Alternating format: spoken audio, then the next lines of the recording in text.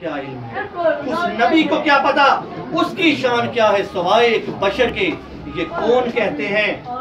ये कहने वाले कोई खलाई मखलूक नहीं। हमारी तरह के इंसान है लेकिन भटक गए हैं। भटक इसलिए गए हैं कि रब कुरान में एक एक चीज़ कहे महबूब तू इन्हें बता दे। महबूब तू इन्हें बता दे।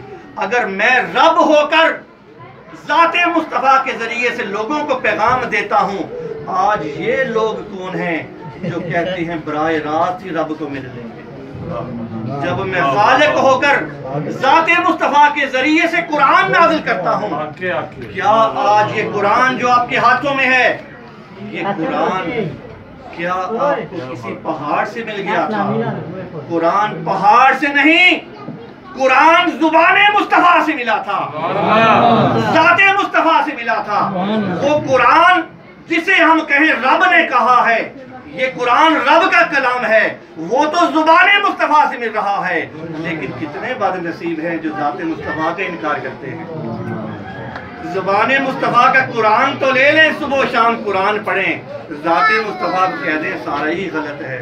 नाउज़बिल्ला ज़ात मुस्तफ़ा के हवाले से कह दें, इसमें कौन सी खास चीज़ है। बराह रास्त ही रब को ले लें। कुरान ही काफ़ी है।